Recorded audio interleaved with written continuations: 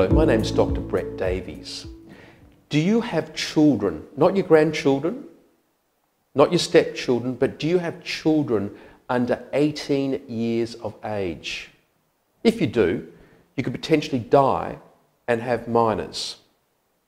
Now, if you and your spouse or the pers- other person that looks after the child are both dead, then you have a right to suggest to the court and to tell the world who you would like to look after your under 18 year old children.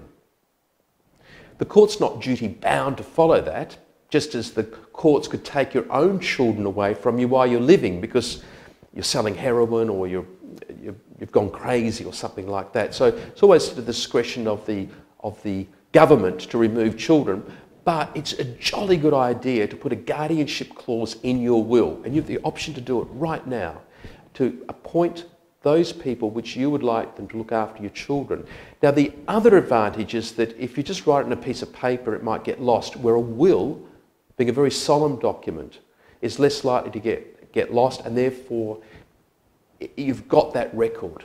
And finally, it's a public document once it's lodged at the probate office, and the world can see who you wanted to look after your children.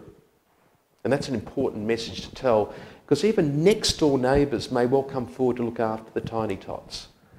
If your child's actually 16, 17, then they, believe it or not, under most state laws can leave home.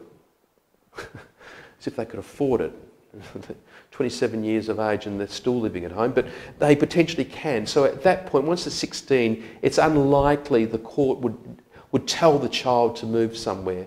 But I still think it's a great idea to put the guardianship clause in the will so that the 16 and 17 year old child can actually see who you, as their much loved parent, thought should look, should look after them. And I think it's a powerful message, and I think you should put it in your will if your children, any of your children are under 18 years of age or are not yet born even. They should use the opportunity to put the guardianship clause in. Telephone us if you need some more legal advice. We're lawyers and we can help you.